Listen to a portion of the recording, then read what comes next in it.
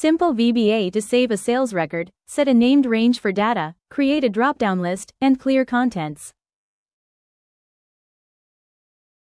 First lesson of this tutorial, creating a drop-down list of product codes.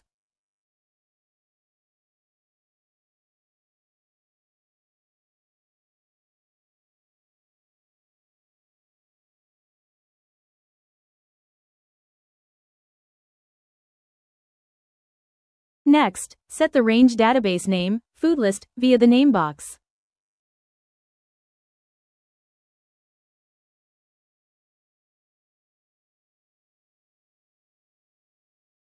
Try entering VLOOKUP into cell C8.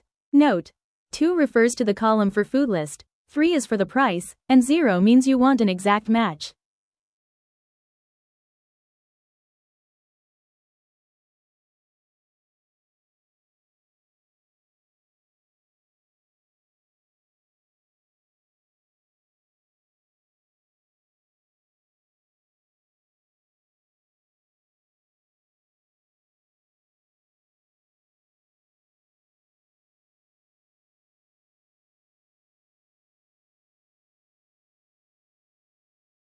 In this calculation, 2 times 5 equals 9, which means you forgot to set the decimal for displaying the real price.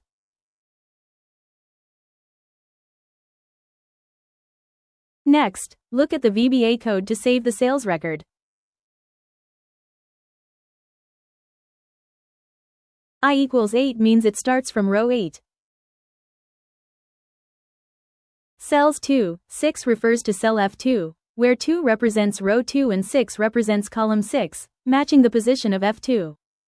Cells 19, 6 refers to cell F19, where 2 represents row 19 and 6 represents column 6, matching the position of F19.